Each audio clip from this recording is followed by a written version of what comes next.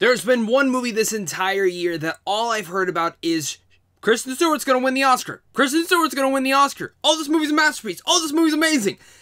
I was a little bit worried that the hype would have actually gotten to me, and when I finally saw this movie, I was gonna be like, I don't know if I agree with that.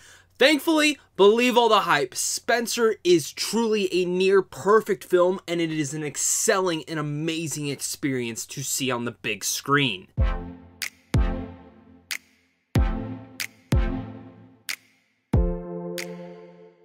What's going on, buddy? Welcome back to a brand new movie review. Today we're going to be discussing Spencer. This is directed by Pablo Larraín and is also written by Steven Knight and stars Kristen Stewart, Timothy Spall, and Jack Neely, and Sean Harris. Spencer takes place during the Christmas holiday, and Kristen Stewart plays Princess Diana, who during this time decides to leave her marriage to Prince Charles.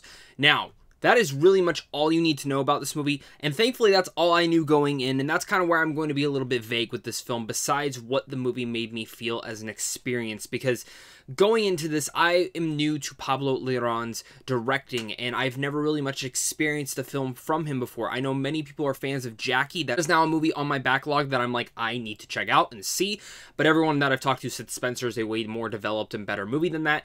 The thing that was more interesting to me, and especially one of the things that I really want to get out of the way is that if you don't know who Princess Diana is or even things about her past, you might be a little bit confused when the film starts. In general, within the first act or so, you might be like you're playing a little bit of catch up. So I do recommend if you're interested in seeing this movie, definitely if you don't know anything about Princess Diana, maybe do a little bit of background history and looking up into it before diving into this movie because I think it really much would help further out the development. For me, I knew quite a bit, but it definitely helped to at least go back and look back at certain things so I did feel caught up while watching the movie because it does just throw you in to where Princess Diana is in her life at this point in time.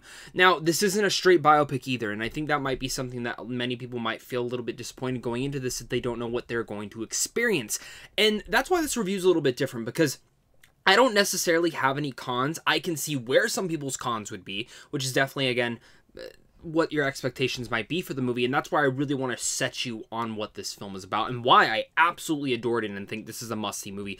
For honestly anyone who wants to try something completely different but at the same time I feel like it is very accessible. And one of the most accessible things about this film is Kristen Stewart's performance. Bar none she gives my favorite performance so far of 2021 and I was honestly blown away. I've always known her to be a fantastic actress, especially over the last couple of years. I have been honestly jaw dropping from a lot of her different performances, Personal Shopper being one of the biggest ones. And within this, I knew she's gonna be great. But I didn't know and I was not prepared for how amazing she was in this film. She blew it out of the water. She became Princess Diana. I didn't even see Stewart at all.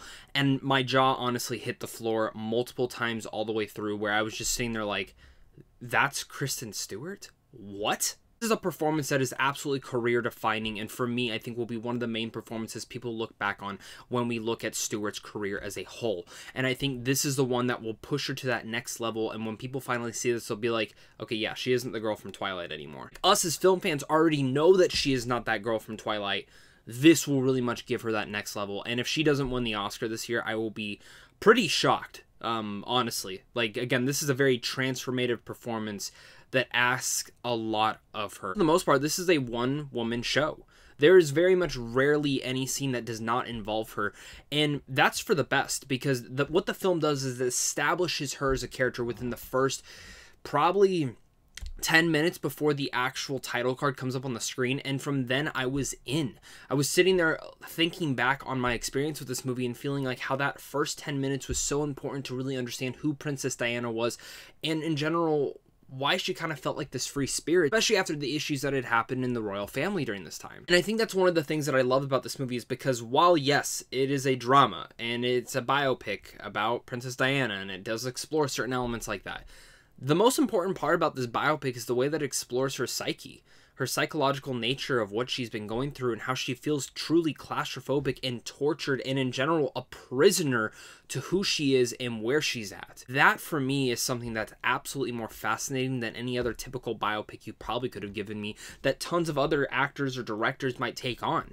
We see tons of biopics every single year, and I was expecting Spencer to maybe be the same type of one, but maybe something's a little bit different. No, it's unlike any biopic I've seen in quite a while. Maybe if I would have seen another Pablo film before this, maybe I would have feel a little bit different. But it is a horror film. Bar none, it, it feels like a horror movie at times. And it's a stressful, tense movie that does keep you on edge. And the way that they really much weave Greenwood's score into here is probably one of the best aspects of it all.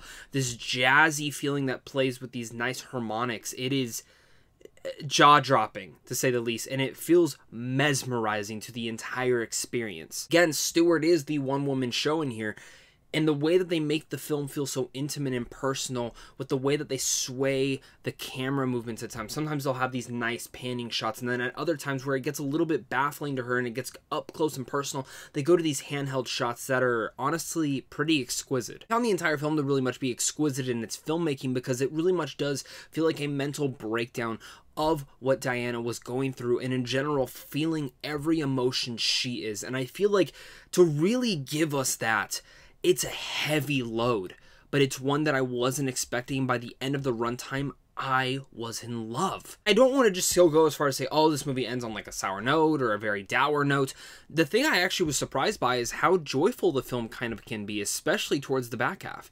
You see again Diana's struggles throughout this, and it really much is a character study on one person and the issues that they are going through psychologically and physically. And seeing how that issue goes and protrudes throughout the entire movie is up until the very last two minutes. It is wonderful. And again, Stewart acts her ass off, and the other star of this also is Pablo Larraín, who I think should also be nominated for this movie for Best Director. I was pretty stunned by his directing, and again, want to experience what other other films he's ever done. I know he's done Jackie, big character piece in the whole entire world that I think he should honestly do, and I think that's Marilyn. I know we're getting a Marilyn movie next year, but I'm a little bit iffy on that one. But I was again just blown away by the fantastic way that he took on this movie. And even talking about this movie on a technical aspect, I, I really do think that the cinematography, the score, again, once I mentioned, the production design, the costume design, all of that works in strides and really much brings this world, this life, this time period all to realization. And there's one sequence that takes place in this decrepit mansion of sorts that Diana had grown up in. And it's easily one of the best sequences in the entire movie, and probably one of my favorite sequences I've seen in 2021 so far. Alone in that sequence, while it's a darker and harder to see through scene, the sound design, the sound score, the sound mixing, all that stuff works wonders with certain things that are creaking with inside the house, but also in the way that it reflects to Diana's mental state. Spencer left me speechless a near perfect film that excels in direction, writing, score, cinematography, and I cannot express enough Kristen Stewart's career defining performance. It's haunting, it's claustrophobic, it's intimate, it's personal, tragic, and all around one of the most unique experiences I've seen all year long. I walked out of this movie and I instantly wanted to go back and see it again, which should say a lot for this experience of a movie because I thought this movie would not want me to have that same feeling, but I need to see this film again. It's a film that I feel like will be studied for many years, and I feel like on re-watches this year or in general, just more thinking on it, it will grow to be one of my favorite films of 2021. It's already up there but it's not my top five yet. But I do think that it possibly could get in there. Spencer is a movie that all of you guys should really much experience. I would even argue if you are not a giant cinephile and you don't know how this film's going to work, I think you should give it a try. I think it is actually pretty accessible for the masses. You just have to understand what kind of biopic you are actually getting here. It is very different in a sense. It is a horror story. So with all that said, I'm going to give Spencer an A. And guys, I cannot wait to hear your guys' thoughts on this, but if you guys are new here, make sure to hit that like and subscribe button, comment down below your guys' overall thoughts, and also head on over to Sandwich John Films on how to see films early. And of course, if you are in the Arizona area and you want to see some cool movies coming up very soon, head over to the Scottsdale International Film Festival's website. It's going on this weekend. You should check it out. Don't miss out. But of course, thank you so much once again for watching, guys. If you're one of my Patreon supporters, thank you so much because without you, I would not be able to do this. And of course, until next time, Stay classy.